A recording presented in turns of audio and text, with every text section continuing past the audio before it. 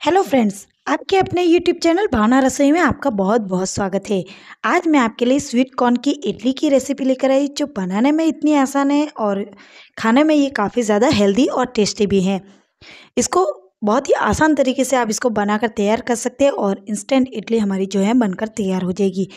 तो अगर आप मेरे चैनल पे नए हैं या अब तक मेरे चैनल को सब्सक्राइब नहीं किया है तो ज़रूर कीजिएगा और आज का वीडियो अगर आपको थोड़ा सा भी पसंद आए तो इसको लाइक, शेयर ज़रूर कीजिएगा। साथ में मुझे कमेंट बॉक्स में ज़रूर बताइएगा।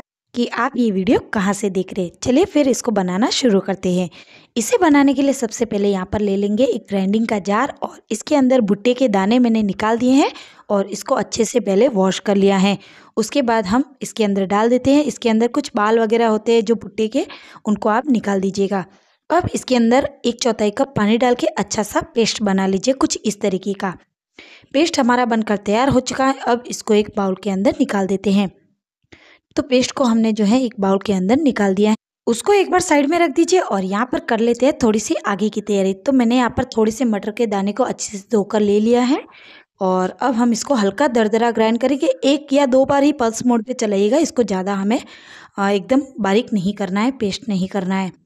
अब इसको अच्छे से क्रश कर लिया हमने और अब ये जो पेस्ट है स्वीट कॉर्न का, उसके अंदर हम एक कप सूजी डालेंगे और साथ में उतना ही हम यहाँ पर दही डालेंगे।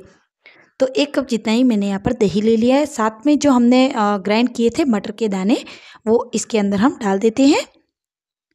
और इस तरीके से हमें यहाँ पर, आप चाहें तो इसके अंदर, इसके साथ ही आप दो हरी मिर्च को भी पीस के डाल सकते हैं। मैं यहाँ पर हरी मिर्च को कट, काट के डाल रही हूँ। तो मैंने यहाँ पर दो से तीन हरी मिर्च ले ली थी, उसको काट के डाल दिया। साथ में गाजर को अच्छे से छोटे छोटे टुकड़ों में काट कर ले लिया है। और स्वाद के अकॉर्डिंग मैंने यहाँ पर नमक इसके अंदर ऐड कर लिया है। अब इसको अच्छे से मिक्स कीजिए। थोड़ी देर में ये अच्छे से मिक्स हो जाएगा। अब इसके अंदर थोड़ा सा पानी की आपको ज़रूरत लगे तो आप इसके अंदर ज़रूर डालिए। अच्छे से इसको मिक्स कीजिए।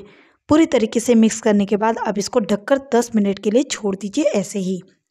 दस मिनट के रेस्ट के बाद आप देख सकते हैं, देखिए दस मिनट हो चुके हैं और सूजी जो है हमारी अच्छे से फूल भी चुकी है। तो इसको अच्छे से एक बार मिक्स कीजिए। अब इसके ऊपर हम तड़का लगाएँगे। तो इसके, इसको जो है एक बार साइड में रख दीजिए और तड़के की तैयारी कर लेते हैं। तो एक तड़का पैन के अंदर दो टेबल स्पून जितना ऑयल गर्म कीजिए। तेल को अच्छा गर्म होने दीजिए। जब तेल अच्छे से गर्म हो जाए, उसके बाद इसके अंदर सरसों के दाने डाल दीजिए। सरसों के दाने को अच्छे से चटकने दीजिए। अब जब ये चटक जाए, उसके बाद इसके अंदर उड़द की दाल डाल देंगे बिना छिलके वाली। साथ में चना दाल एक चम्मच जितनी ही डाल देने और अच्छे से इसको मिक्स कीजिए और गरम गरम तड़के को बैटर के ऊपर मिला लीजिए। तो इस तरीके से हमें जो है गर्मा गर्म तड़के को इसके ऊपर लगा लेना है, जिससे कि इसके अंदर काफ़ी अच्छा टेस्ट आएगा। और इस तड़के को अच्छे से मिक्स कीजिए। तो इस तरीके का हमने जो है बैटर बना के तैयार किया है। मुझे थोड़ा सा इसके अंदर पानी की ज़रूरत लग रही है तो मैं थोड़ा सा यहाँ पर और डालूँगी और इसको जो है अच्छे से इसको मिक्स कर लेना है। अब यहाँ पर इडली की जो स्टैंड है, वो ले लेते हैं हम। तो इस तरीके से जो इडली की प्लेटें हैं, उसको आप ऑयल से थोड़ा सा ब्रश के साथ से इस तरीके से ग्रीस कर लीजिए, जिससे कि इडली आसानी से निकल जाए। तो इसी तरीके से हमें सारी की सारी प्लेट को जो है, इडली जो ग्रीस कर लेना है। तो ये काम आपको थोड़ा पहले करना है।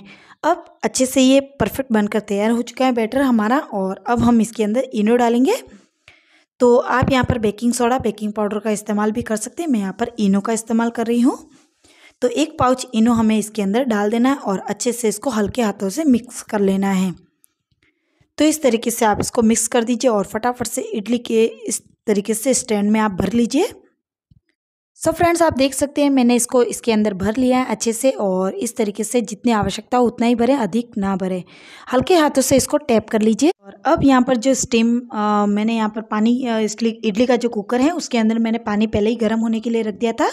तो अब इसके अंदर भाप निकलना शुरू हो चुकी है। इस तरीके से आप स्टैंड को जमा लीजिए और अब आप ढक्कन लगा लीजिए और इसको पाँच मिनट ऐसे ही कुक होने दीजिए।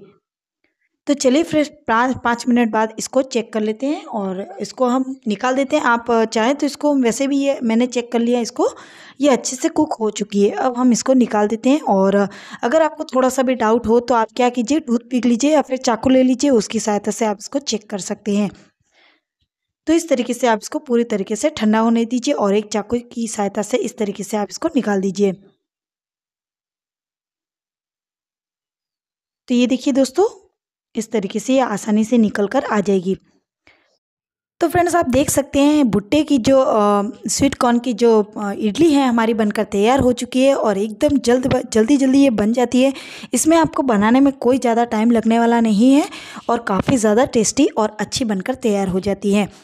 आप भी इसको एक बार ज़रूर ट्राई कीजिए, आप बहुत ही अच्छी और शानदार वाली इडली बनाकर तैयार कर लेंगे।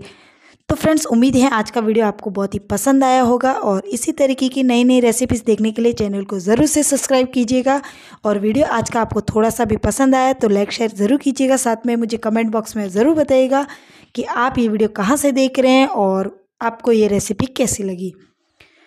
तो हम अगले वीडियो में फिर से मिलेंगे। तब तक के लिए जय श्री कृष्णा।